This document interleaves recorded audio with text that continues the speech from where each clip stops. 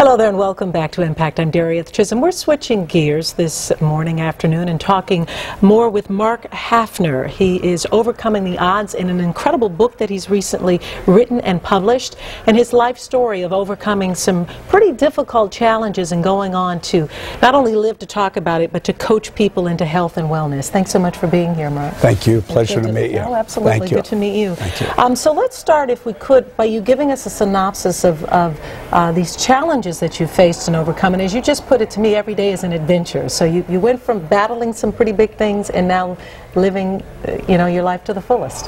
Absolutely. From the time I was a young boy, I had a lot of difficulty in school. I overcame a learning disability. I was told a lot of things that I couldn't do. A very dear friend of mine, David Hausdorff, said, Mark, you have to put your story out there. You have to get it out so parents can hear about it. So when their kids have challenges, they can overcome them. That's why I wrote this book. Uh, fortunately, I have a wife that is like my rock and my anchor. Her name's Shelley, and a, a, beautiful daughter, Lauren, as well, that keep me grounded and wonderful parents. They just celebrated their 50th anniversary, and a brother who I look up to. He lives in, in the Maryland area. And with writing the book and coaching all the different sports and doing the fitness training, it was about um, uh, in November of a a year and a half ago. I didn't feel 100%, and I went to the doctor, and they had found a tumor, and I had to have uh, surgery, and I went through the surgery, and I went through the chemotherapy, and I it, it was called actually BCG treatments, and for bladder cancer. For bladder cancer, and I'm in remission. And then they said the kind of cancer is the best kind of cancer to have is this kind. I was like, I don't know, any kind of cancer was good.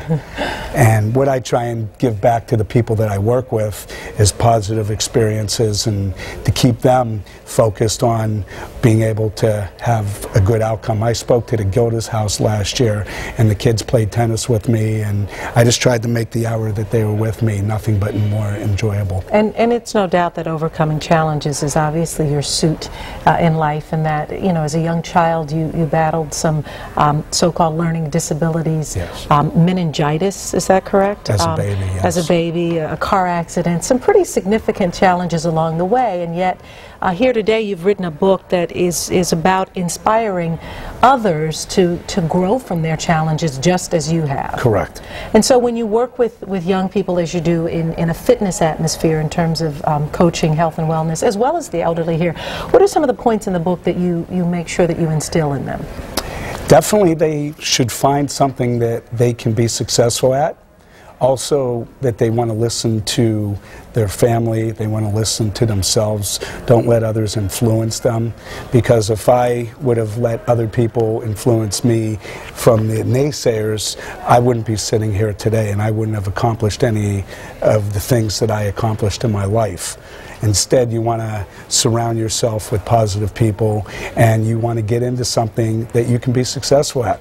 You write in your book that you never let pride interfere with your goals in life.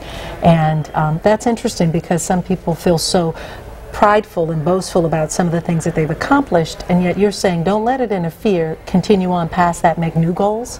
And follow your dream. Absolutely, because if, if you're just focused on that, then that's going to hold you back.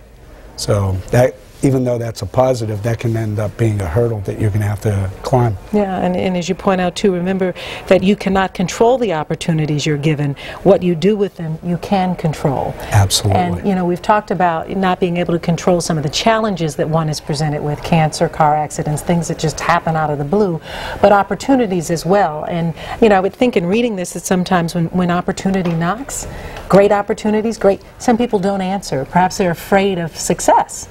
This is true. And if, if, if you don't answer that opportunity and then that success doesn't come, then you're like, woe is me, and how come I never had the opportunity instead of jumping full in there. If you fall on your face, you got to get back up and just keep going forward.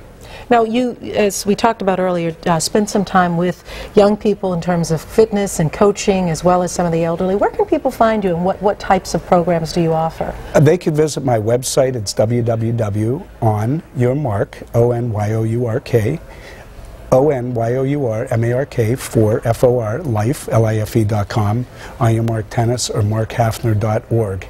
I run programs at um, the Jewish Community Center, Also, I work for Presbyterian Senior Care. They manage a lot of different buildings throughout the whole city. I run a lot of after-school programs as well. And what a great way for kids who are presented with some challenges to be able to work one-on-one with you uh, in an atmosphere, uh, whether at the Jewish Center or some of the other programs that you offer.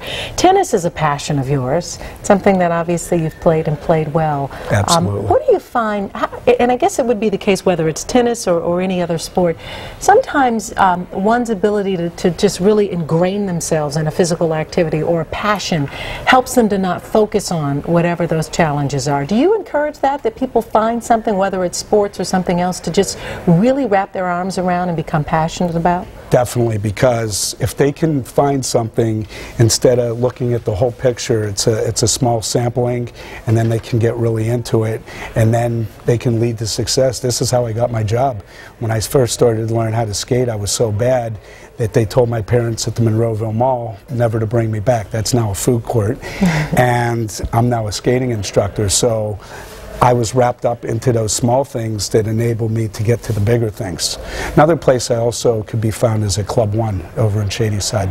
Okay, great.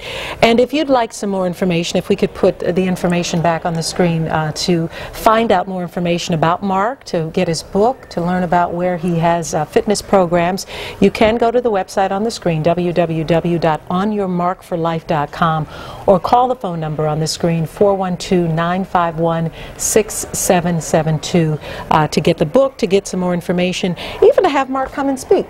Absolutely. Um, and uh, talk with some young folks or some other people who might need uh, his encouragement. Absolutely. Thank you so much. Well, you're quite welcome, Mark. Thanks Pleasure meeting you. on Impact. Thank you. Absolutely. And we've got more Impact. Stay straight. Stay with us.